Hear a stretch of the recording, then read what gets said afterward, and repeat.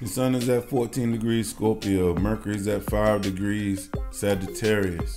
Venus is at 23 degrees Sagittarius. The moon's at 12 degrees Capricorn. Heading to with a heading toward a conjunction with Pluto at 29 degrees Capricorn. Mars is at uh, 0 degrees 48 minutes of Leo.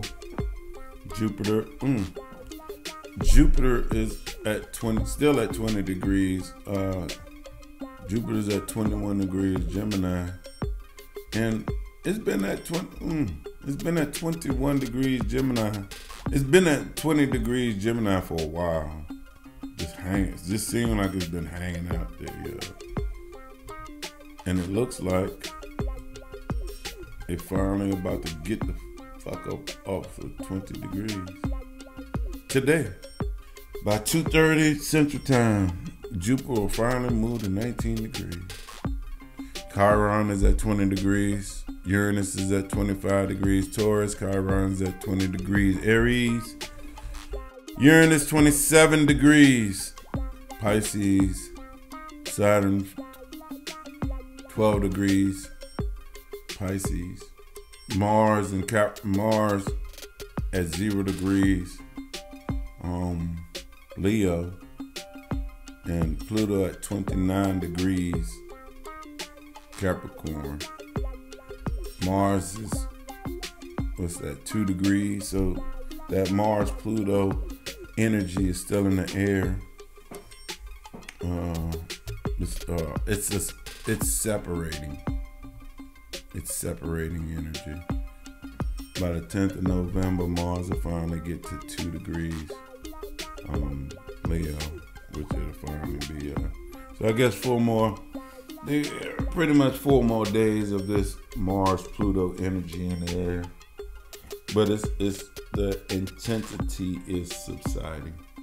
Moon will conjunct Pluto, which uh, uh even bring it'll bring emotional intensity to that separating Saturn. I mean, to that separating Mars Pluto. Mercury being at five degrees, Mercury's at five degrees, uh, Sagittarius. Ooh, the nodes have finally moved up for six degrees, and the north node is at five degrees, Aries. So Mercury, with Mercury at five degrees, Aries and the North Node at 5 degrees Aries, what type of aspect is that? Anyone know? Anyone know? Anyone know? Anyone know? Mercury is what the North Node. Mercury is trining the North Node, trining. Fire to fire. Five degrees, five degrees. This is an ideal time to be sensitive to the messages that are being communicated. Are you listening? Which is funny. Uh, we just finished talking about that. This is an ideal time to be sensitive to the messages that are being communicated. Are you listening?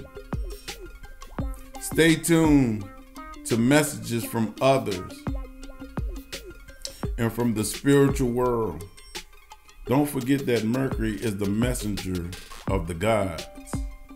Good news now can help you make positive decisions and form beneficial associations.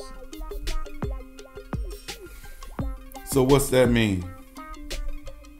What's that mean? Stay aware, be present, be mindful of the things that people are saying because if you buy into and if you believe that the universe uses people as vessels, um, you never know that what is being said to you is it that person or is it a channeled message from the universe that has to do with your purpose or destiny or anything like that.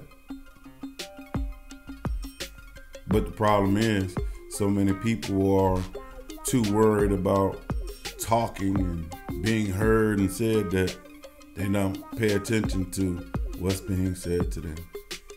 People are worried about having to pay bills, having to do this, do that.